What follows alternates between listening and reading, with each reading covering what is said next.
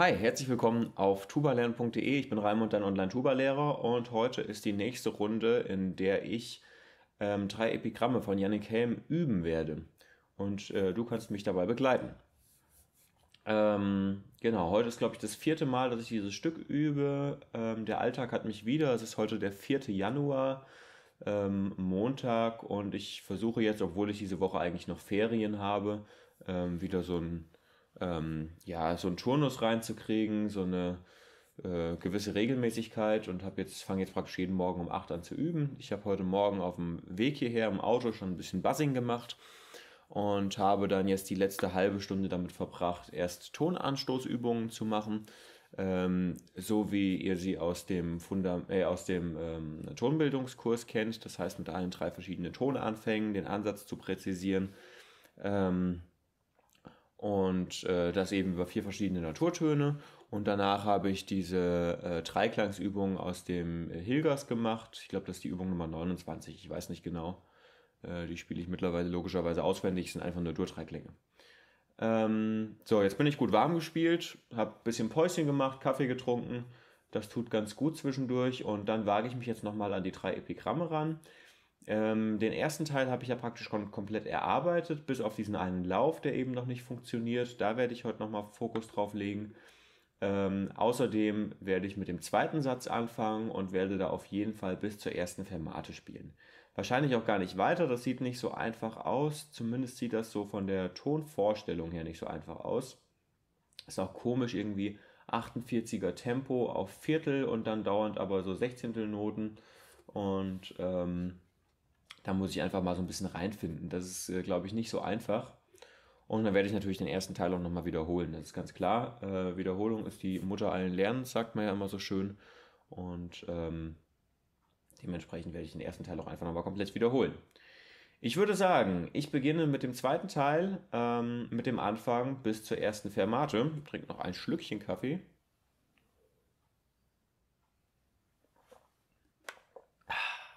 Das tut gut. Und dann geht's los.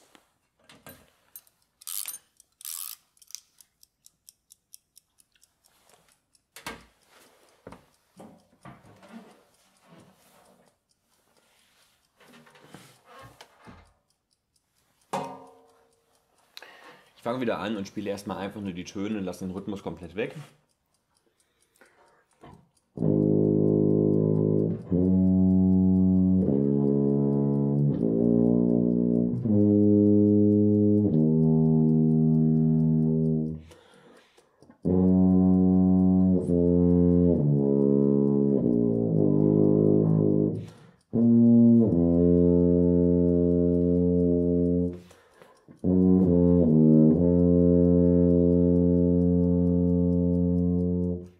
Von den Tönen her nicht so schwer, wie es aussieht. Und äh, ja, es sind wieder so typische Janik Helm-Rhythmen. Ich sehe das schon. Ähm, so diese Triole, die da irgendwie so ganz alleine steht und ähm, dieses, dieser Rhythmus Sechzehntel und dann die punktierte Achtel und dann am besten noch übergebunden. Ähm, das kenne ich doch schon.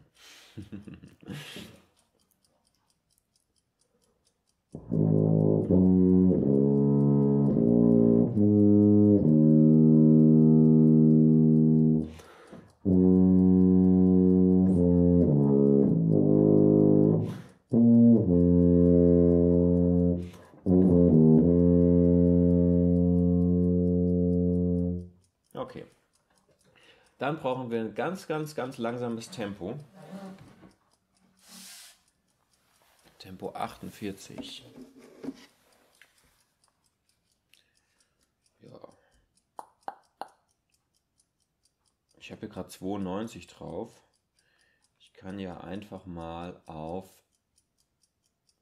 96 äh, gehen, dann habe ich doppeltes Tempo, da zähle ich praktisch Achtelnoten. Das ist vielleicht einfacher.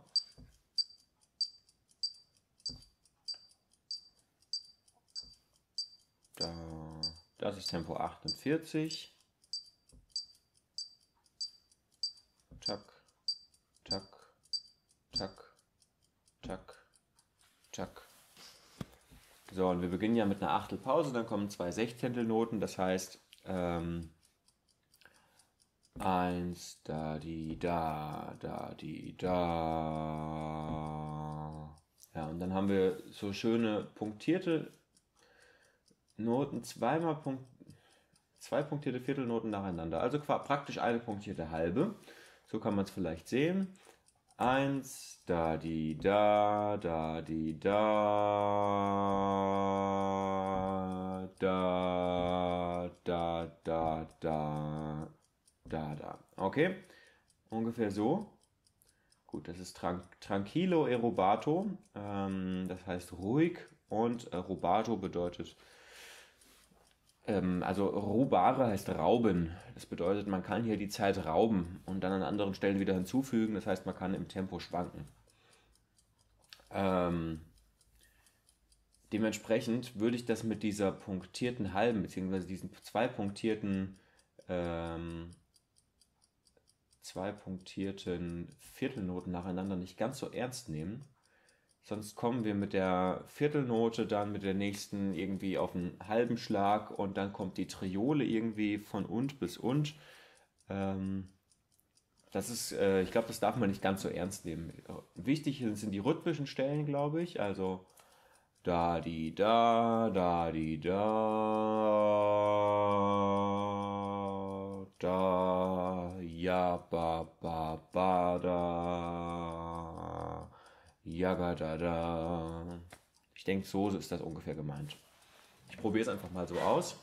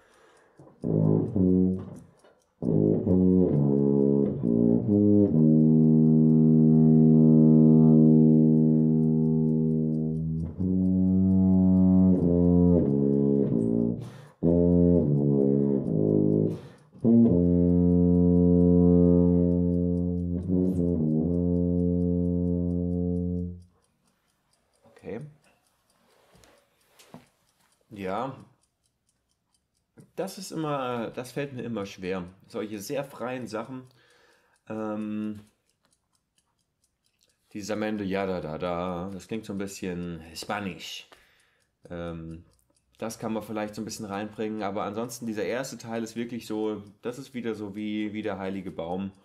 Bo, bo, bo, bo, bo, bo. Die, ja, da, da, Dia. Da, da, da. Es ist schwierig, da eine musikalische Idee reinzubringen, aber gut, ich spiele es auch gerade zum ersten Mal.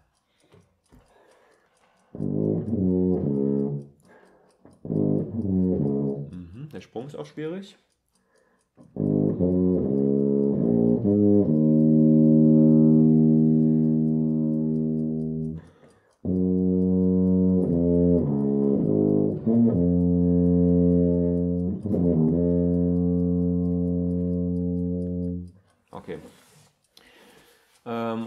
Normalerweise spiele ich das ähm, Guess, was wir da in diesem äh, 32. Lauf haben, immer mit dem Trigger hier.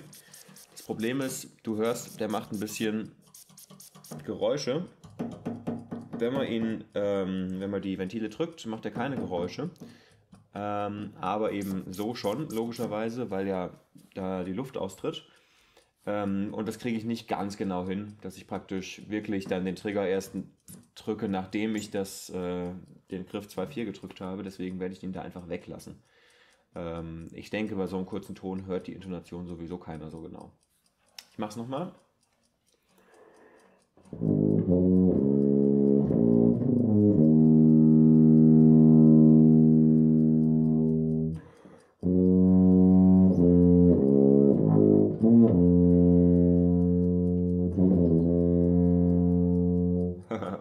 Jetzt habe ich ein E gespielt statt einem S. Machen wir nochmal.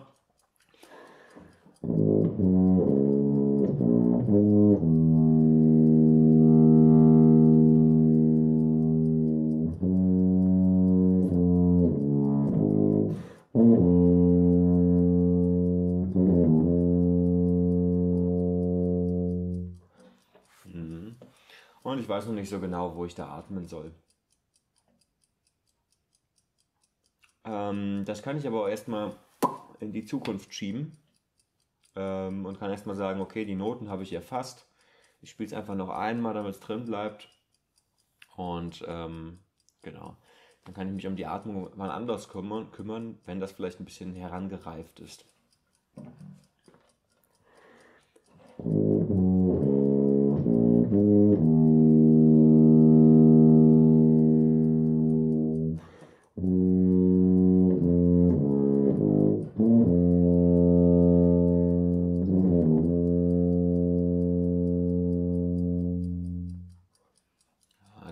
Nicht so zufrieden.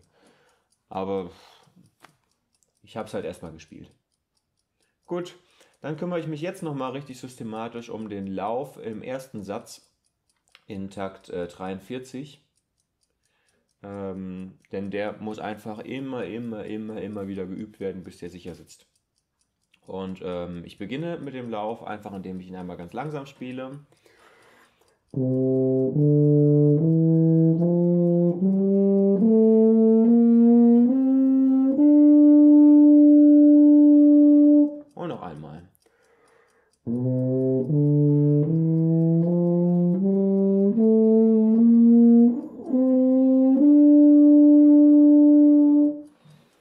Schon automatisch mache, ist bei jedem Durchgang den Fokus auf was anderes legen. Ich kann es auch noch mal ein bisschen offenlegen, wie ich das genau mache. Also ich spiele den Lauf praktisch einmal ganz langsam und achte ganz genau drauf, was meine Finger machen.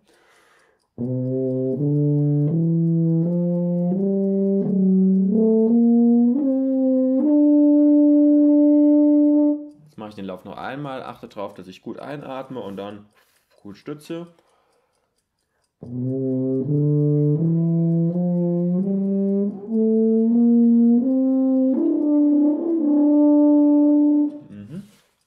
Nächste Station ist, ich achte einmal auf das, was die Zunge macht.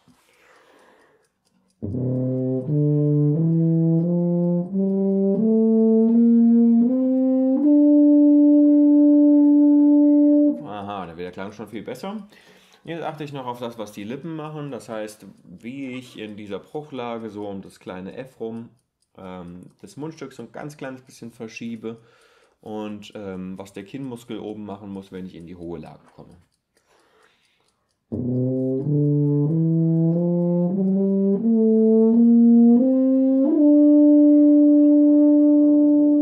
Okay.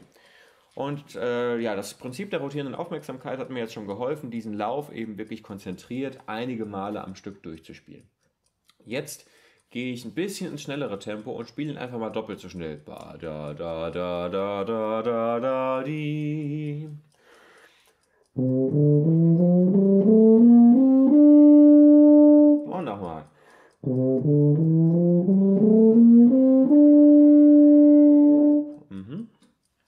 Und jetzt versuche ich mal, ähm, weil man ja eigentlich nicht so viel sehr langsam üben soll, ähm, ins Originaltempo zu gehen. So, das sind die Viertelnoten. Eins, zwei, drei, da, eins, zwei, drei, da. Das ist schon verdammt schnell. Das heißt, man muss im Endeffekt dahin. Eins, zwei.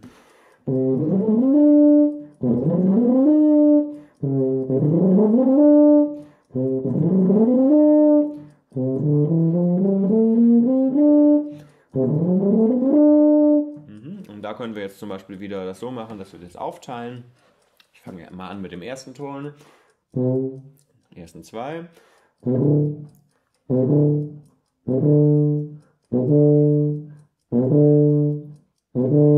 Ersten drei.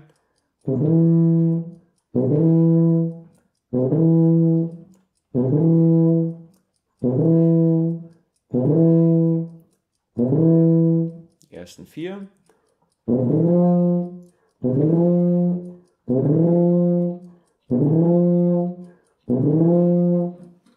Die ersten fünf, dann habe ich praktisch die erste Hälfte, dann habe ich praktisch einen Auftakt zu dem G.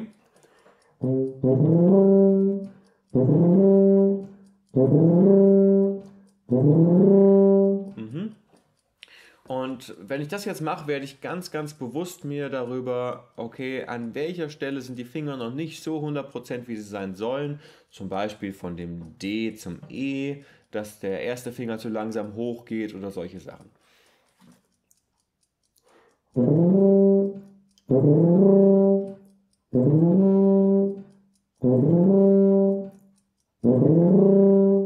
Nochmal.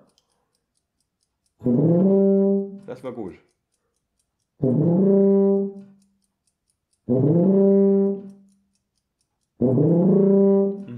Das F war eben immer so ein bisschen verschluckt. Ich mach's nochmal. Mhm. Das war ganz gut. Okay. Ähm, jetzt nehme ich die zweite Hälfte, fange mit dem G an, auf dem ich ja gerade stehen geblieben bin. Mhm, der spricht schon mal schlecht an. Ja. Mhm. Okay, zwei Noten.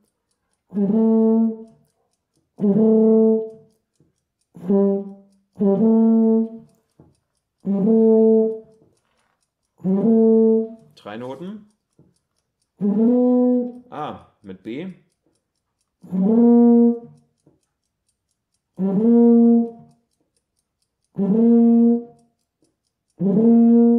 Bis zum C.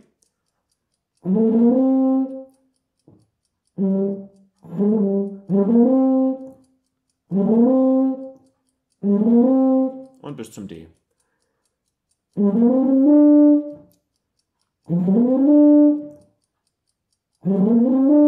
Mhm. Ja.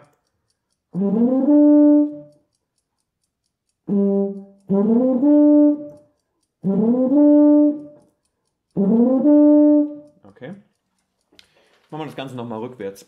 Ähm, ich fange an mit dem G und nehme einen davor dazu.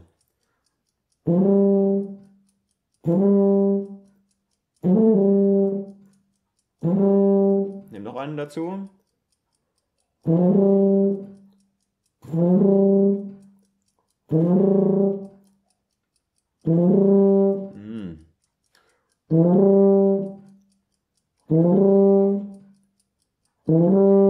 Okay, ich nehme noch einen dazu. Oh, das wird gut, ja.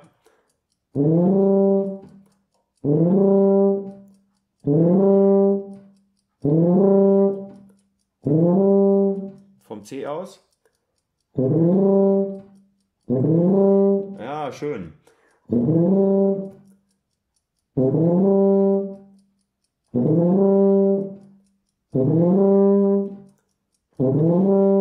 Okay.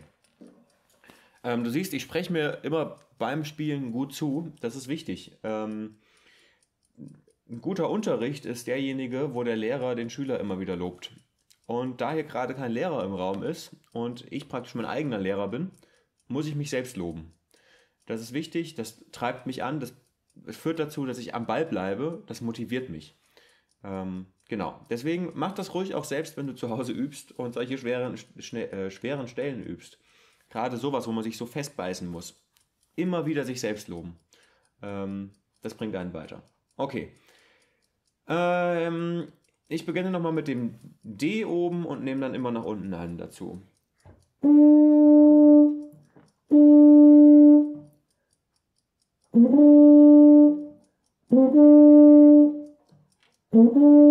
Nochmal. Hier ist jetzt die Schwierigkeit, dass das D oben angestoßen ist, während alle anderen vorher gebunden sind. Jetzt nehme ich das B dazu.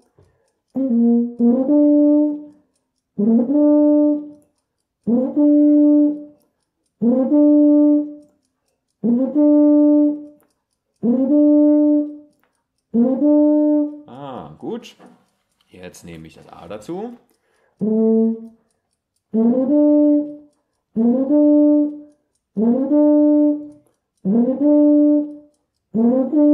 Gut, und das G.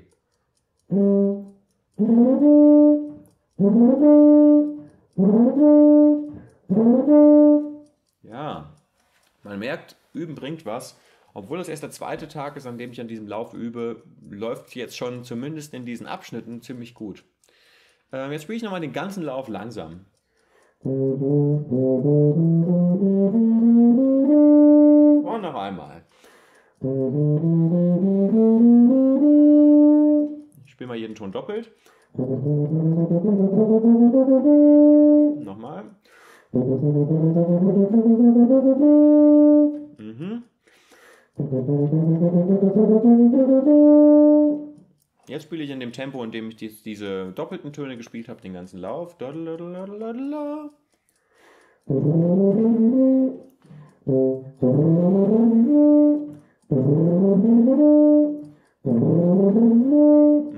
Läuft noch nicht hundertprozentig sauber.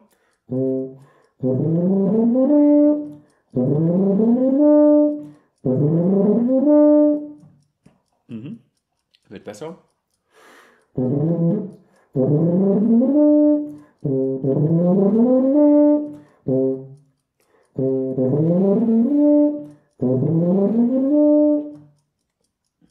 Okay, nochmal. Okay,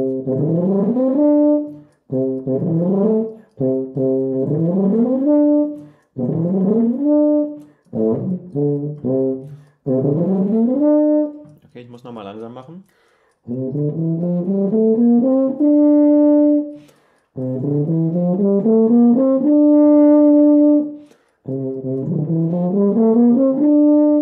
Okay, jetzt habe ich schon die Konzentration auf dieses Crescendo gelegt. Das war nicht äh, gleichmäßig von den Griffen her. Das auch nicht. Besser.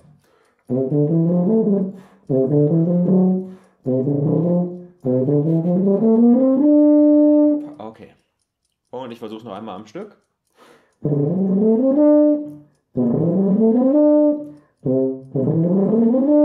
Ja, es wird langsam. Mhm. Jetzt bin ich das Ganze ein, mache diesen Auftakt und spiele dann bis durch bis 46. Nochmal.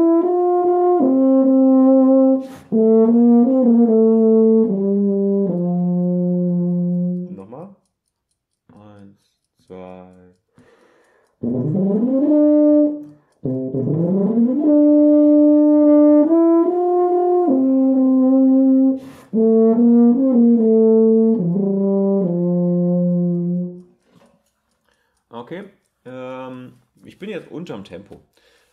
Ähm, genau, aber das ist erstmal nicht schlimm. Hauptsache, ich komme erstmal durch. Ich nehme ein bisschen was dazu von vorne ab diesem 4-8-Takt mit Auftakt. Also praktisch 43 mit Auftakt. 44 mit Auftakt, so. Äh, 42, Entschuldigung, 42 mit Auftakt.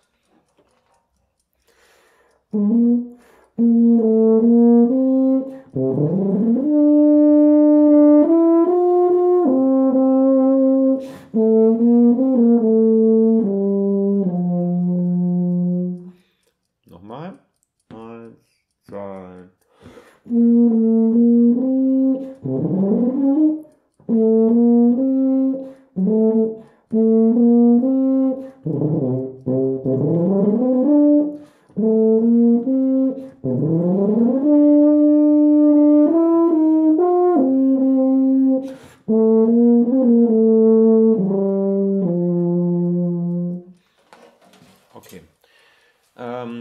Gerade das Glück, dass ich festgestellt habe, dass ich vorher falsch gezählt habe. Die 32. Noten sind ja so, dass vier zusammen immer eine Achtelnote ergeben.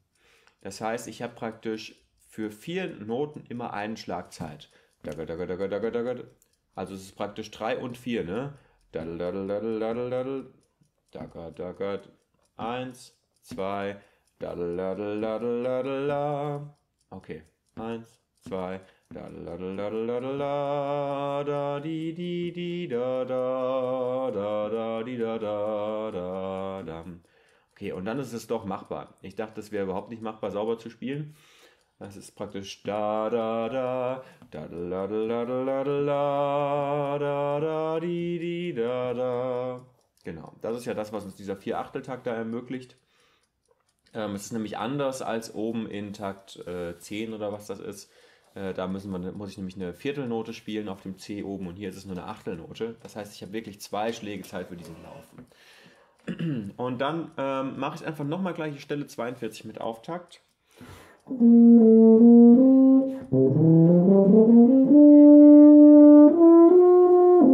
Okay, ich weiß nicht, wie es geht. Das war natürlich mega unsauber. Ich mache es nochmal.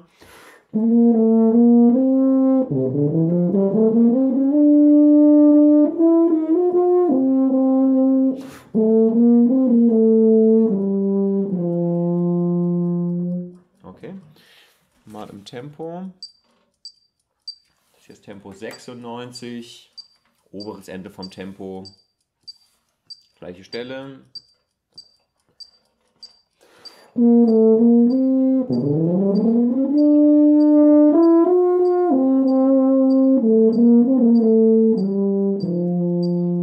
Noch einmal. War nicht sauber der Lauf. Eins, zwei, eins, zwei. Okay.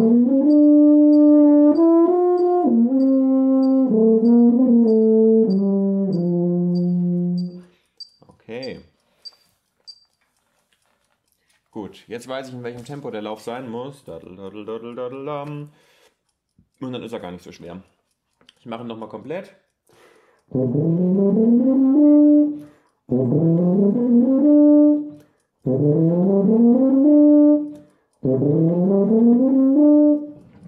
Mhm. Nochmal. Ja, das ist gut.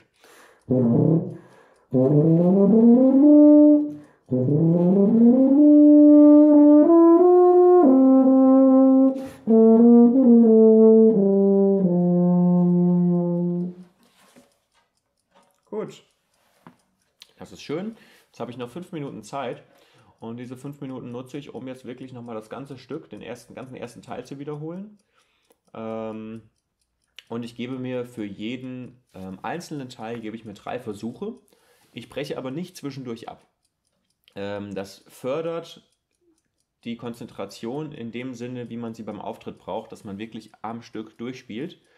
Ähm, und trotzdem ist es so ein bisschen ein Kompromiss, weil ich jeden einzelnen Teil dreimal spiele, sodass das dann auch äh, ja, irgendwie sauber funktioniert. Ähm, von vorne bis 13. Eins, zwei.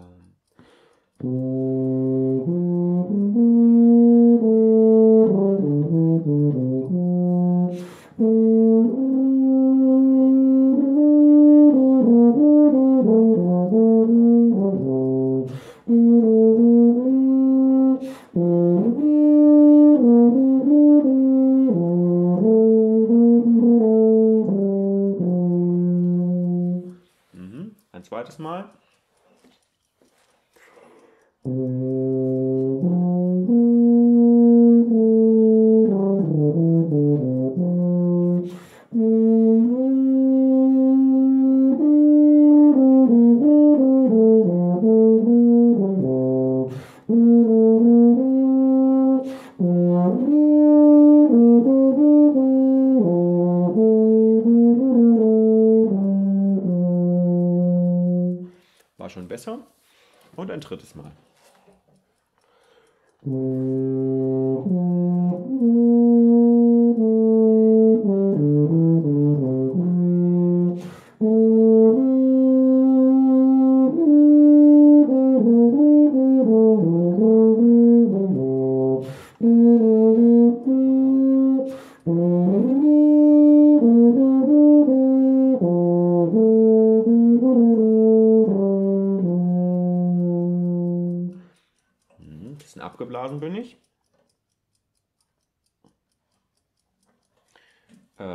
17 bis 25.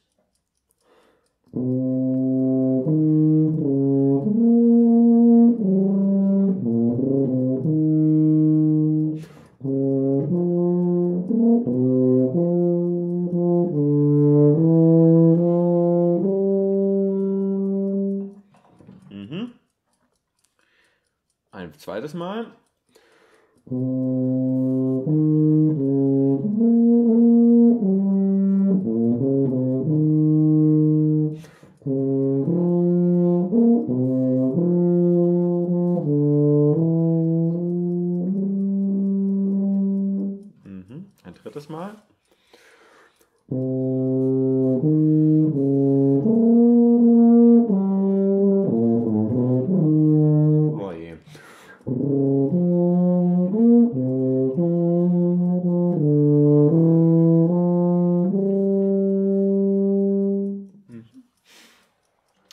34 bis 46.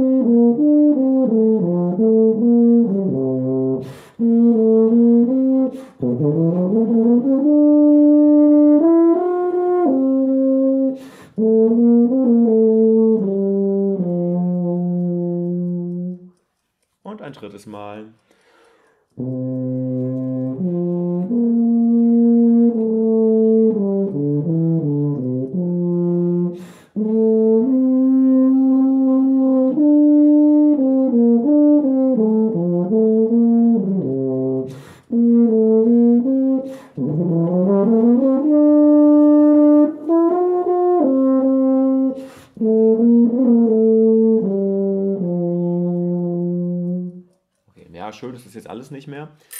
Aber gut, Zeit ist abgelaufen. Es hilft trotzdem, Sachen einfach oft zu spielen, einfach um sie auch ins Hirn zu kriegen. Und ähm, auch wenn die Zeit jetzt abgelaufen ist, die letzten vier Takte mache ich jetzt zumindest noch einmal. Mhm,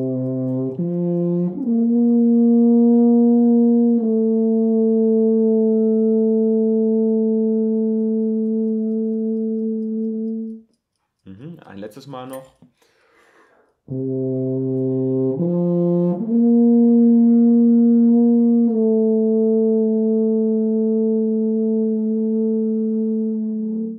Okay. Dann bin ich doch wieder ein Stückchen weitergekommen ähm, mit dem Stück vom Yannick, drei Epigramme. Ähm, du kannst gerne wieder einen Kommentar drunter schreiben, ob dir das geholfen hat, ähm, ob du dir das gerne anguckst oder eben nicht, ob das langweilig für dich ist oder ob das erkenntnisreich für dich ist. Ähm, genau, für mich ist es auf jeden Fall eine spannende Sache, das mal so zu dokumentieren, wie ich eigentlich übe. Ähm, ansonsten dokumentiere ich es ja auch immer hier im Übetagebuch.